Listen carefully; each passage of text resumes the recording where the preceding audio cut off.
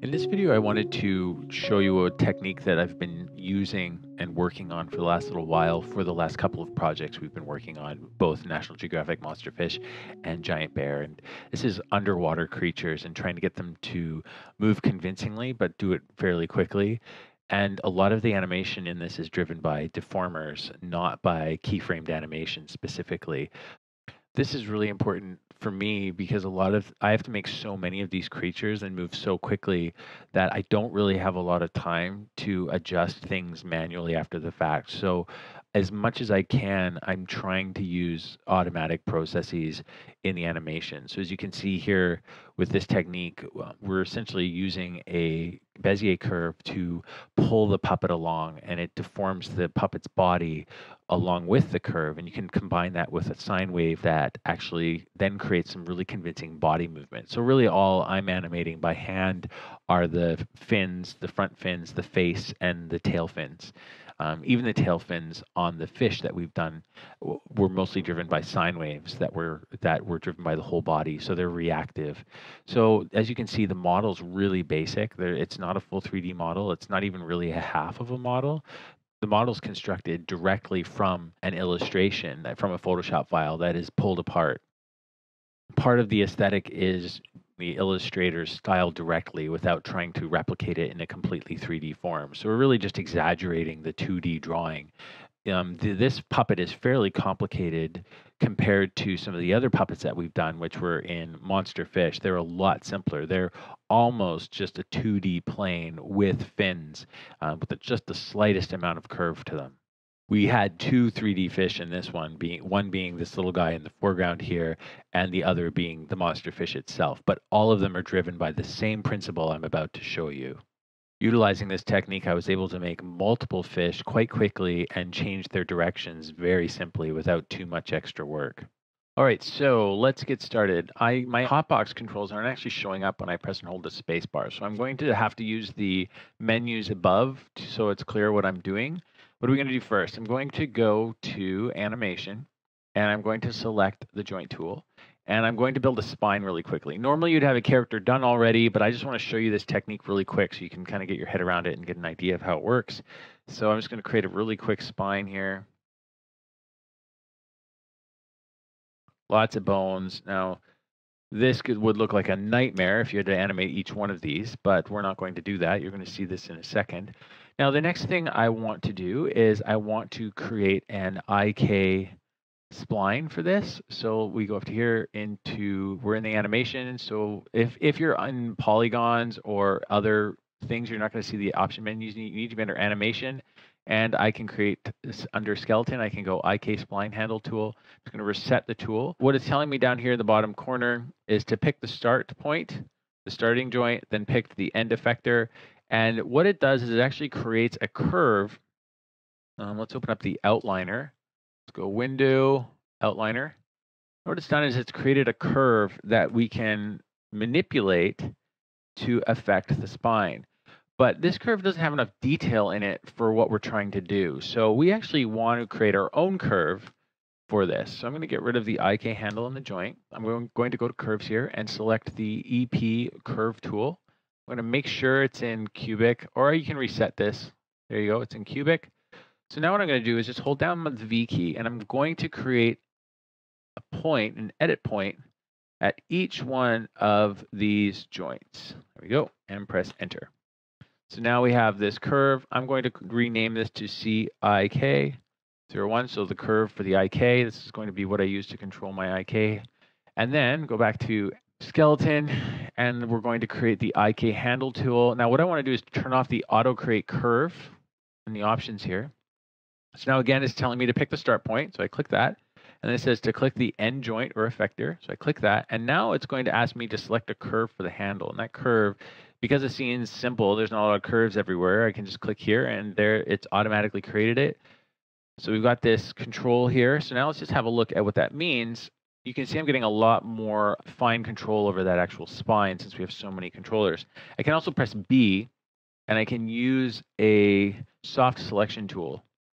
To get wider control. So it's better to have more points than less, in my opinion. So now that I have this, uh, it's actually very powerful because I can use all of my deformers, nonlinear deformers, and all kinds of tools to this to actually affect the spine. The first example is I'm going to actually create a sine deformer, and we're going to attach it to this IK curve. So let's go here. Let's go to create deformer, and I'm going to create under nonlinear, I'm going to create a sine deformer. Just leave all these options as they are apply. We'll go here and just increase the amplitude right here so we can see what we're what we're doing. I want this fish, this fish is going to swim side to side.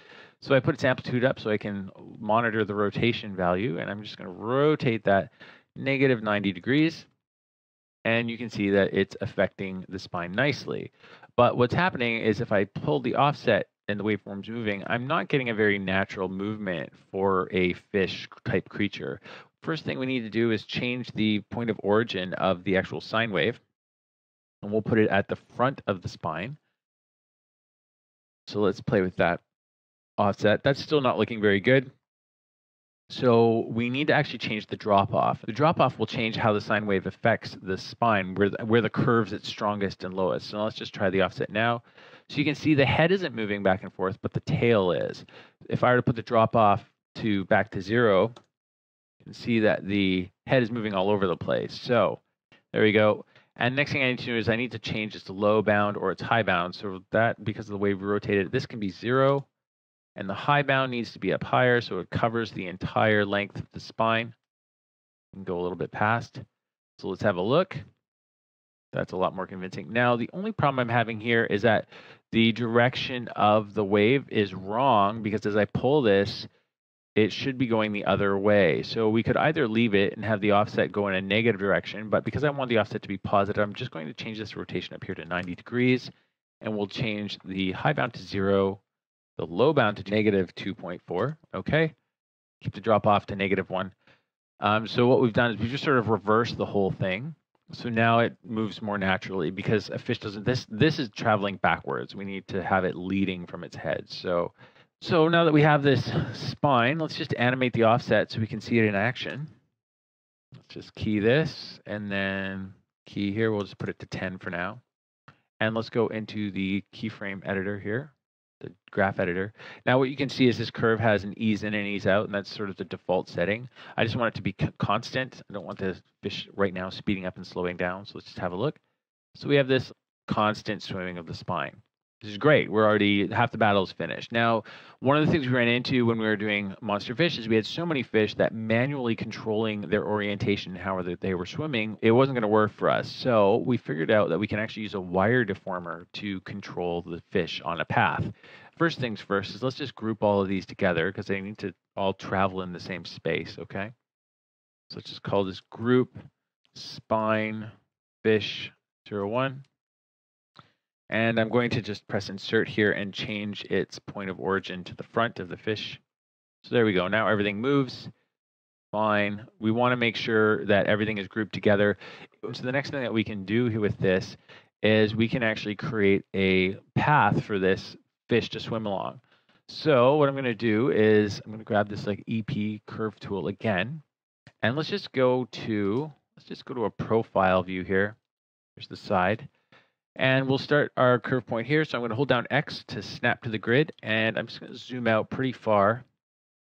I want a pretty long path that I can have this little creature follow along. And point it there. Okay, so I've got two points. Now what I need to do is I need to rebuild this curve because currently I don't have much control over it. There's not a lot we can do with this path as it is. So if we go here to surfaces and go to edit curves and I can go to rebuild the curve right here and select the options and I'll just reset this. Normally this is at four. I found like 15 or 20 was good. So let's just go 20, I guess. Go apply. Let's have a look. I'm right clicking control vertex. You can see I've got lots of points to control here. Now this is this is really beneficial because now I can do a lot more interesting things with this fish. And if I want to just manipulate the curve in a general way, I can use my soft mod tool before you deform the curve or do anything with it, you have to do you have to make your connections with a deformer. So now what we want to do is we want to actually use a wire deformer for this. So let's just get rid of the grid really quickly here. we go. Uh, let's go up to back to animation and select create deformer. And we're going to create a wire, use the wire tool. So I'm just going to select that. I'm going to reset the tool, make sure everything's where it needs to be. So now in the bottom left corner here, it's saying to select the shape we want to deform. So let's bring the outliner back up again. I want to make sure I'm deforming the actual IK curve here, the curve. I don't want to affect the handle. I want to affect the curve. That's the thing that's driving the whole fish's spine. Um, let's rename this again. See path one. So the first thing we want to do is let's select the shape we want to deform. So that's right here. And it says to press enter. So uh, press enter. And now it's saying to select the wire curve. And that's just right here and then press enter. So now what's happened is we've actually created a relationship between the IK here and the wire. So you can see that there it's become part of its inputs. Now what we can do is we can animate this, we can just pull this along this path. And I'm just going to animate it really quickly. Take this group. It's important to have it all grouped together. We don't want to leave parts of the fish behind. So we will move this along the z-axis. So I'm just going to key this and we'll go all the way to the end. We'll pull the fish. We'll pull our spine all the way along the path here. Okay. So now nothing's going to happen the path is perfectly straight, but now what we can do is we can actually deform the, the vertices here and make something happen with the fish.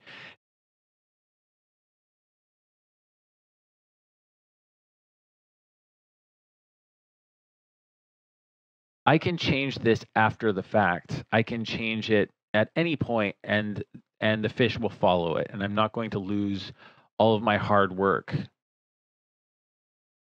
there we go. So we have a pretty elaborate path for this thing to follow. Let's bring this down a little bit more. Okay.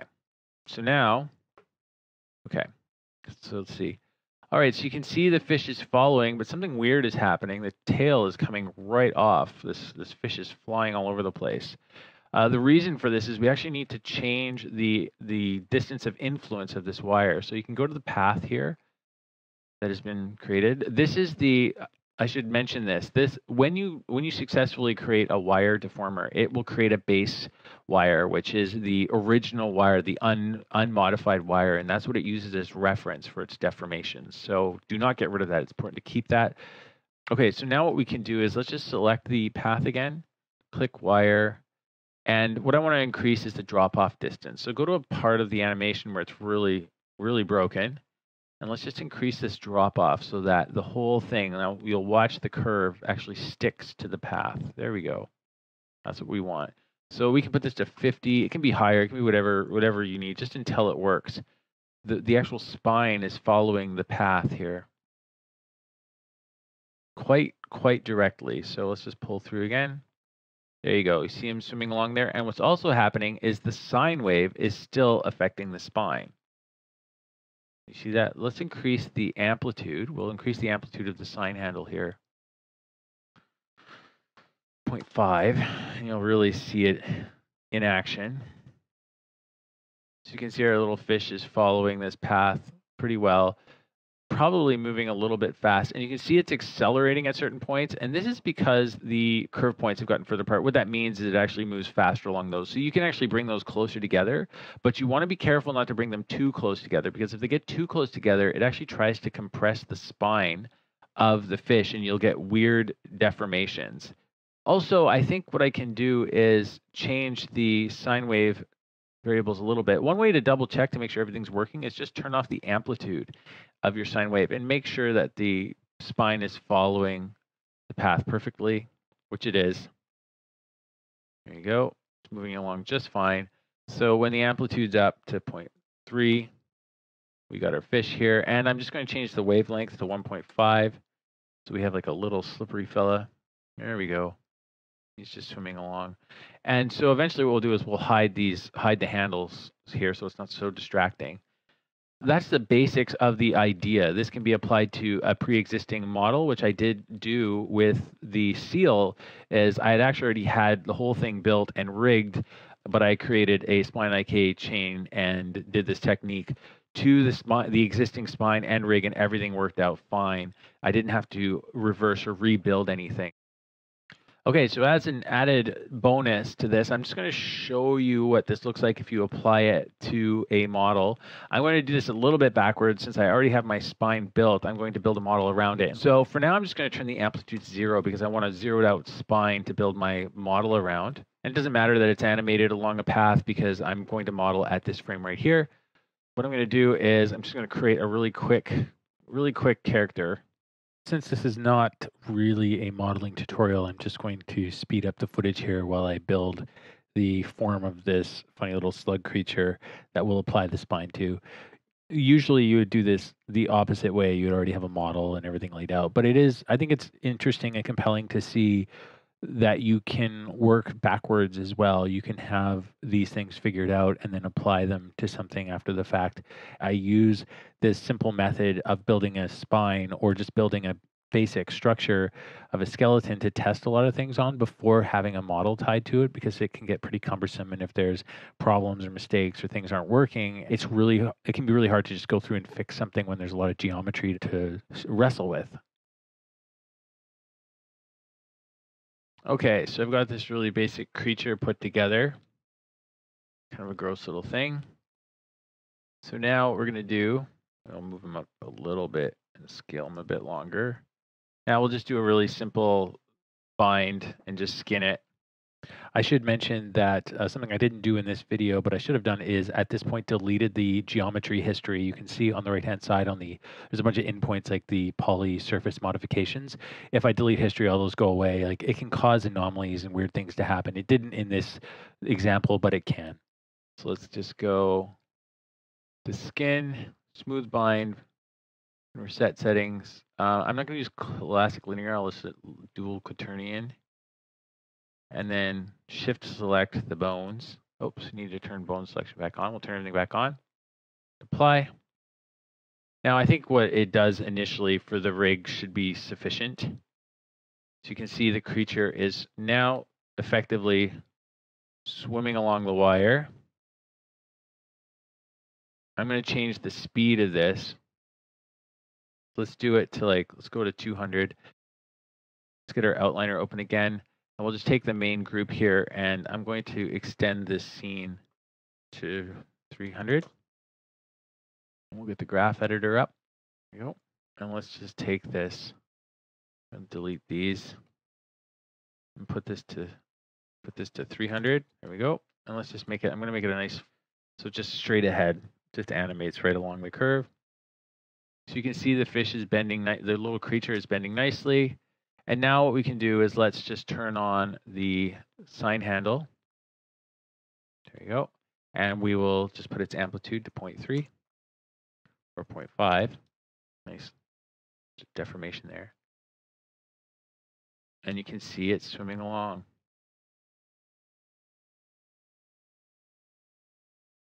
Now it looks like my sine wave is is stopping, right, because we ended it at 120. So let's just go here again and just pull this out to 300. We go. And we'll we're we're going to change its amount, its offset to like 30. So we like tripled everything up. So let's have a look. There you go.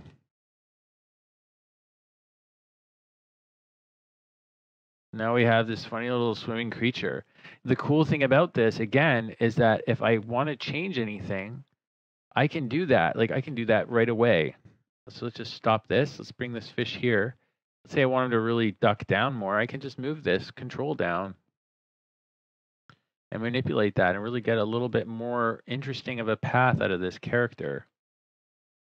So now you'll really torque over. There we go. And then here we can just, let's bring this back even more. Make some really interesting things happen with him. Now, the other thing that you have that you can do, which is really cool with this IK handle, is you have a twist and a roll. So we can animate the roll and the twist. So let's just roll it over. Creature's rolling over, and then we'll roll them back to the side here. It swings over and then goes the other way. Now you could attach this roll to the sine wave It's really there's so much you can do.